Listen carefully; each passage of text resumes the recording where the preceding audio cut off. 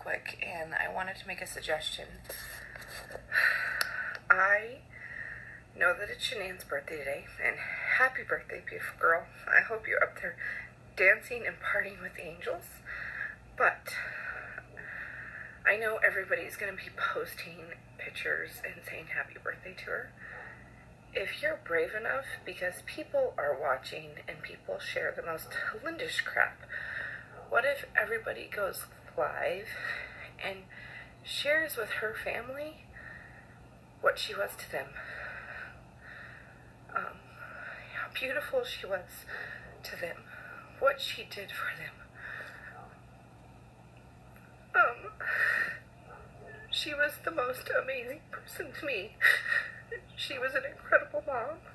She loved her baby. She'd do anything for them.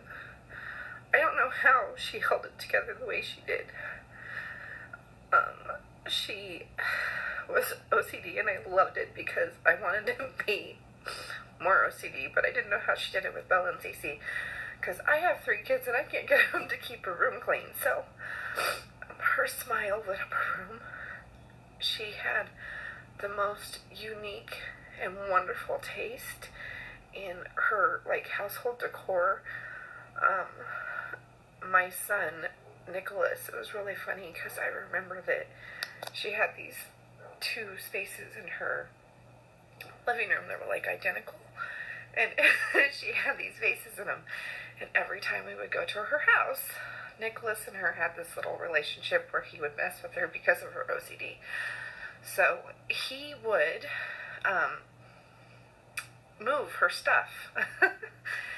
and when she was in North Carolina and we house set, um, he moved a lot of her stuff.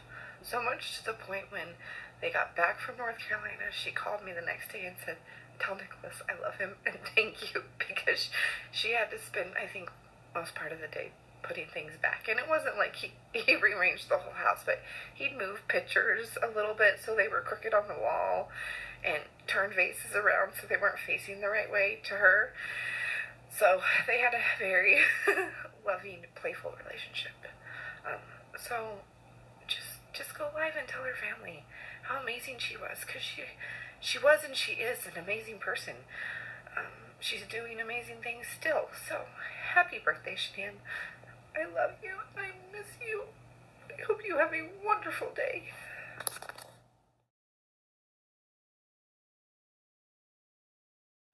Hi, everyone.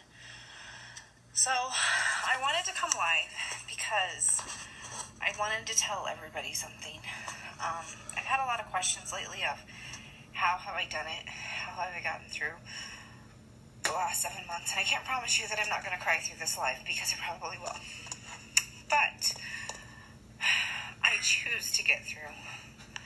Um, I had a lady message me and say that you're so strong after everything you've been through. And I have my bad days, believe me, I do. My husband and children can attest to them. But I choose every day to get up. I choose every day to be a better mom to my children than I was the day before. I choose to be a better friend, a better sister, um, a, a better daughter, a better Grandfather, mother. I can't imagine. Those are my grandchildren.